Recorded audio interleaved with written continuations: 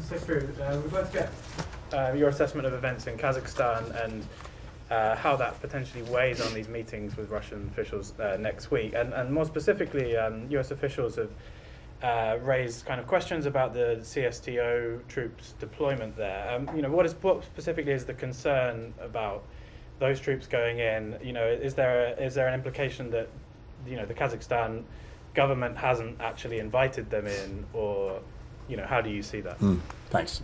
Um, so first, we are very concerned about the ongoing state of emergency that exists in, in Kazakhstan. Um, we've urged authorities to respond appropriately, proportionately, and in a way that upholds the, uh, the rights of, uh, of protesters. Uh, I spoke with the, the foreign minister uh, just yesterday. I reiterated our full support uh, for Kazakhstan's constitutional institutions, as well as the absolute importance of respecting human rights, media freedom, uh, including the restoration of internet service, and uh, to dealing uh, with uh, peaceful protests in a way that protects the protesters, upholds their rights, and is consistent with the, the rule of law. Uh, so there has to be a rights respecting resolution to this crisis.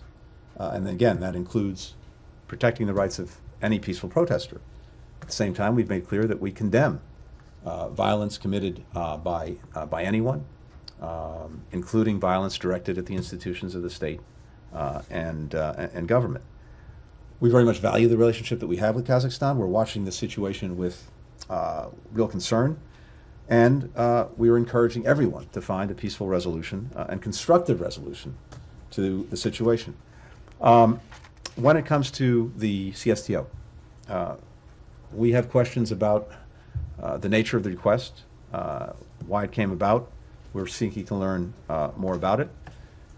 Uh, it would seem uh, to me that uh, the um, Kazakh authorities and government certainly have uh, the capacity to deal uh, appropriately uh, with, uh, with protests, uh, to do so in a way that respects the rights of, of protesters while maintaining law and order. So it's not clear uh, why they feel the need for any uh, outside assistance, so we're trying to learn more about it.